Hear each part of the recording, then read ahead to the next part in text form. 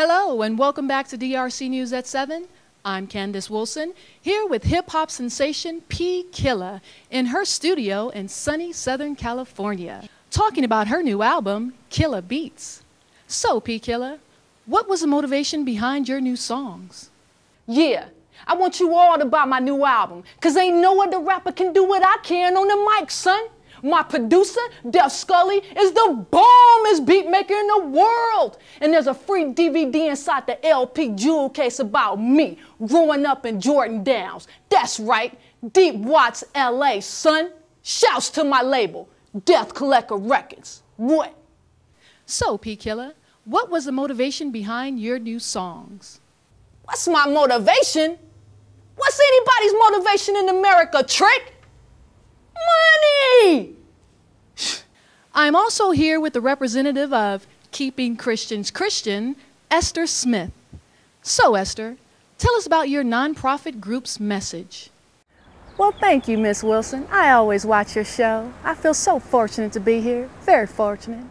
Tell us about KCC's mission. Well, KCC is an organization that reaches out to youths about, well, Christian values. And we've just completed a recording studio at our headquarters in sunny Compton, California, that teaches teenagers to record music that, well, Jesus would listen to. and we feel that musicians such as P. Killa are sending the wrong message to our youth today.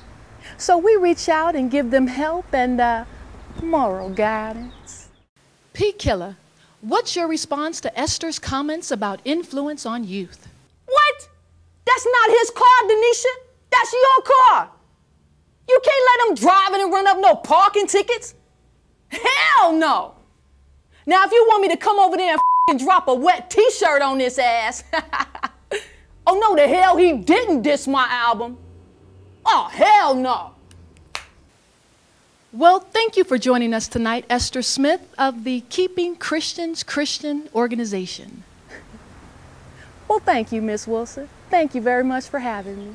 And thank you, P. Killa, and best of luck on your new album. DRC News will be back after this.